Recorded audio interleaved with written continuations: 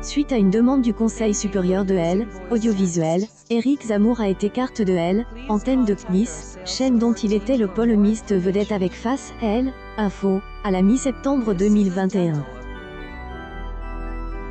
Le journaliste S est officiellement porte-candidat à L, investiture présidentielle quelques semaines plus tard. Éric Zemmour a été éliminé dès le premier tour de L, élection présidentielle. En ne recueillant que cet suffrage, il a été loin de faire le poids face à Emmanuel Macron et Marine Le Pen. Quoique, il en soit, elle, ex-polémiste vedette de Nissen, a pas entendu renoncer à ses ambitions politiques. Il est, et porte candidat dans la quatrième circonscription du Var en vue des élections législatives. À elle, approche du premier tour des législatives, Éric Zemmour renforce sa présence sur les plateaux de télévision. Le mercredi 1er juin 2022, il est intervenu, en duplex de Grimaud dans le Var, sur LCI.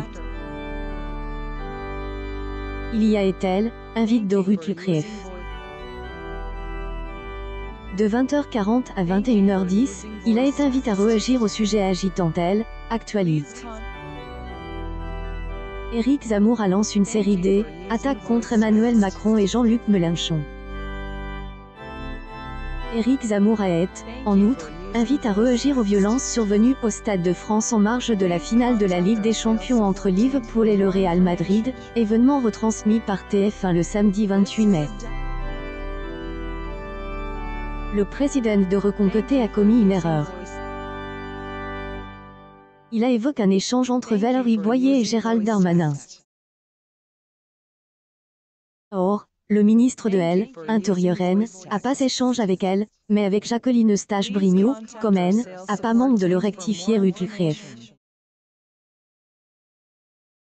Audience, Éric Zamouren, a fait aucun miracle pour LCI. CRIF 2022 propose entre 20h et 22h, N, a attire que 120 000 téléspectateurs, soit 0.3 EL, ensemble du public. Elle, ancienne journaliste de BFM TVS, est effondrée en concédant elle, une des plus mauvaises performances de la journée de LCI, chaîne dont la part de Marchès, est établie en moyenne à 1.6 UPRE des 4 ans et plus.